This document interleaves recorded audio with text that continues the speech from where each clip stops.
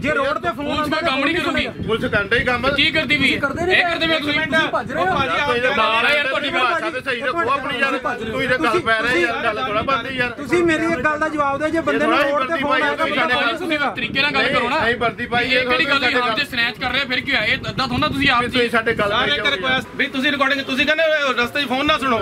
ਇਹਦਾ ਮਤਲਬ ਪੁਲਿਸ ਤੇ ਵਿਸ਼ਵਾਸ ਜੁੜ ਗਿਆ ਲੋਕ।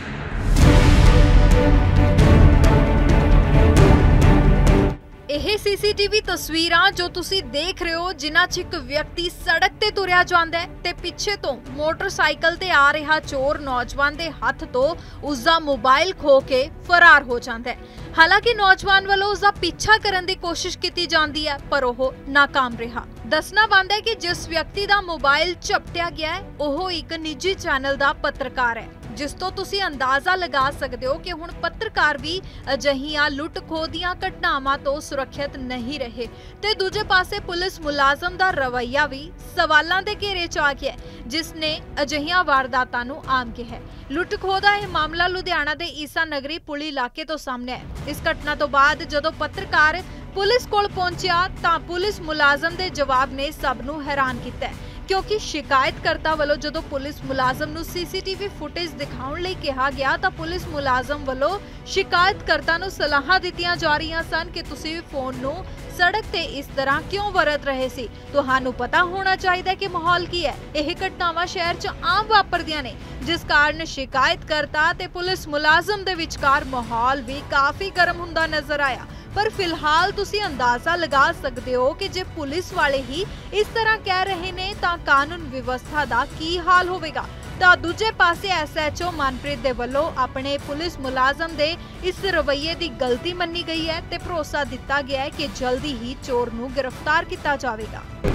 ਇਹ ਸਾਨੂੰ ਇਨਫੋਰਮੇਸ਼ਨ ਮਿਲੀ ਸੀ, ਅਸੀਂ ਮੌਕੇ ਤੇ ਆਏ ਆ ਸੀਸੀਟੀਵੀ ਕੈਮਰੇ ਦੇਖੇ ਆ ਤੇ ਵਿੱਚ ਪਤਾ ਲੱਗ ਰਿਹਾ ਦੋ ਸਨੈਚਰ ਜਿਹੜੇ ਆ ਫੋਨ ਖੋ ਕੇ ਗਏ ਆ ਉਹ ਅਸੀਂ ਆਪਣੇ ਸੇਫ ਸਿਟੀ ਵਾਲੇ ਕੈਮਰਿਆਂ 'ਚ ਭੇਜ ਦਿੱਤਾ ਹੈ ਤੇ ਜਲਦੀ ਅਸੀਂ ਉਹਨਾਂ ਨੂੰ ਆਇਡੈਂਟੀਫਾਈ ਕਰਕੇ ਵਹੀਕਲ ਤੇ ਉਹ ਬੰਦੇ ਤੇ ਫੜ ਕੇ ਮੈਮ ਇਹ ਕਿਹੜਾ ਏਰੀਆ ਔਰ ਕਿੰਨੇ ਕੁ ਵਜੇ ਘਟਨਾ ਵਾਪਰੀ ਹੈ ਸਾਰੀ?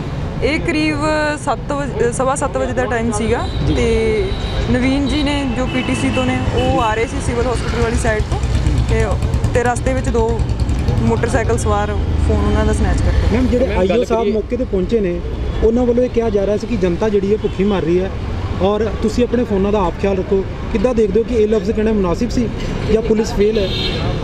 ਨੇ ਉਹਨਾਂ ਨੂੰ ਥੋੜਾ ਜਿਹਾ ਧਿਆਨ ਨਾਲ ਗੱਲ ਕਰਨੀ ਚਾਹੀਦੀ ਆਪਾਂ ਆਪਾਂ ਪੁਲਿਸ ਦਾ ਕੰਮ ਹੀ ਕੀ ਹੈ? ਪੁਲਿਸ ਦਾ ਕੰਮ ਹੈ ਸਾਡੇ ਕੋਲ ਕੋਈ ਕੰਪਲੇਂਟ ਆਂਦੀ ਹੈ ਅਸੀਂ ਉਹਨੂੰ ਪੂਰਾ ਨਿਆਂ ਦਈਏ।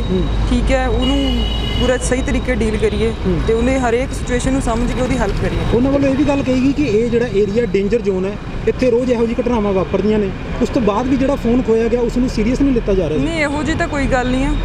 ਇਹੋ ਜੀ ਕੋਈ ਜ਼ਿਆਦਾ ਕੋਈ ਜਦੋਂ ਦੀ ਮੈਂ ਆਈ ਹਾਂ ਮੈਂ ਮੇਰੇ ਹੁੰਦੇ ਤਾਂ ਪਹਿਲੀ ਸਨੈਚਿੰਗ ਮੈਂ ਦੇਖੀ। ਮੈਮ ਜੇ ਗੱਲ ਕਰੀਏ ਜਿਹੜੇ ਆਈਓ ਸਾਹਿਬ ਮੌਕੇ ਤੇ ਆਏ ਸੀ ਉਹਨਾਂ ਦਾ ਇਹ ਕਹਿਣਾ ਸੀ ਆਪਣੇ ਰੋਡ ਦੇ ਉੱਤੇ ਕੰਨ ਨਾਲ ਫੋਨ ਲਾ ਕੇ ਤੁਸੀਂ ਨਾ ਤੁਰੋ। ਤੇ ਕਿਤੇ ਨਾ ਕਿਤੇ ਜਿਹੜੇ ਸਵਾਲੀਆ ਨਿਸ਼ਾਨ ਆ ਉਹਨਾਂ ਨੇ ਪੁਲਿਸ ਦੇ ਉੱਤੇ ਖੜੇ ਕੀਤੇ ਨੇ ਇਹ ਡੇਂਜਰ ਏਰੀਆ ਇਹਦੇ ਬਾਰੇ ਮੈਮ ਕੀ ਕਹਿਣਾ ਚਾਹੋਗੇ? ਕਿਤੇ ਨਾ ਕਿਤੇ ਮੁਲਾਜ਼ਮ ਦੇ ਵੱਲੋਂ। ਪੁਲਿਸ ਪੂਰੀ ਤਰ੍ਹਾਂ ਸਤਰਕ ਹੈ ਤੇ ਅਸੀਂ ਪੂਰੀ ਤਰ੍ਹਾਂ ਕੈਪੇਬਲ ਹਾਂ ਵੀ ਅਸੀਂ ਉਹ ਦੋਸ਼ੀ ਨੂੰ ਫੜ ਕੇ ਜਲਦੀ ਸਲਾਖਾਂ ਦੇ ਪਿੱਛੇ ਲੈ ਕੇ ਮੁਲਾਜ਼ਮ ਦੀ ਗੱਲ ਕੀਤ- ਜਾਵੇ ਤਾਂ ਉਹਨਾਂ ਵੱਲੋਂ ਜਿਹੜੇ ਲਫ਼ਜ਼ ਕਹੇ ਗਏ ਮੈਮ ਉਹਨਾਂ ਬਾਰੇ ਤੁਸੀਂ ਕੀ ਕਹਿਣਾ ਚਾਹੋਗੇ? ਉਹਨੂੰ ਮੈਂ ਉਹੀ ਕਹਿ ਰਹੀ ਹਾਂ ਉਹਨੂੰ ਸਹੀ ਤਰੀਕੇ ਨਾਲ ਮਤਲਬ ਪਬਲਿਕ ਲਈ ਅਸੀਂ ਪਬਲਿਕ ਲਈ ਬਣੇ ਹੋਏ ਆ ਪਬਲਿਕ ਦੀ ਹੈਲਪ ਲਈ ਬਣੇ ਹੋਏ ਆ ਉਹਨੂੰ ਇਸ ਚੀਜ਼ ਦਾ ਧਿਆਨ ਰੱਖ ਕੇ ਬੋਲਣਾ ਚਾਹੀਦਾ। ਤੁਸੀਂ ਸੀਸੀਟੀਵੀ ਦੇਖੀ ਮੈਡਮ? ਸੀਸੀਟੀਵੀ ਮਿਲ ਗਈ ਹਾਂਜੀ। ਕੀ ਇਨਵੈਸਟੀਗੇਸ਼ਨ ਕੀਤੀ ਜਾ ਰਹੀ ਹੈ? ਸਾਡੇ ਕੋਲ ਉਹਨਾਂ ਨੇ ਹਜੇ ਇਨੀਸ਼ੀਅਲ ਕੰਪਲੇਂਟ ਦਿੱਤੀ ਹੈ। ਅਸੀਂ ਉਹਨਾਂ ਨੂੰ ਕਹਿ ਰਹੇ ਸੀ ਆਪਣੀ ਸਟੇਟਮੈਂਟ ਦੇ ਦਿਓ ਤੇ ਅਸੀਂ ਪਰਚਾ ਦਰਜ ਕਰਕੇ ਅਗਲੀ ਅਸੀਂ ਕਾਰਵਾਈ ਕਰ ਲੈਂਦੇ ਹਾਂ। ਫਿਲਹਾਲ ਸਾਡੇ ਕੋਲ ਕੋਈ ਉਹ ਬਿਆਨ ਨਹੀਂ ਦਿੱਤਾ ਉਹਨਾਂ ਨੇ। ਤੇ ਜਿਵੇਂ ਸਾਨੂੰ ਬਿਆਨ ਦਿੰਦੇ ਅਸੀਂ ਐਫ ਆਈ ਆਰ ਦਰਜ ਕਰਕੇ ਅਗਲੀ ਕਾਰਵਾਈ ਅਮਲ ਚ ਲਿਆਵਾਂਗੇ। ਵੈਸੇ ਤਫਤੀਸ਼ ਜਾਰੀ ਹੈ। Thank you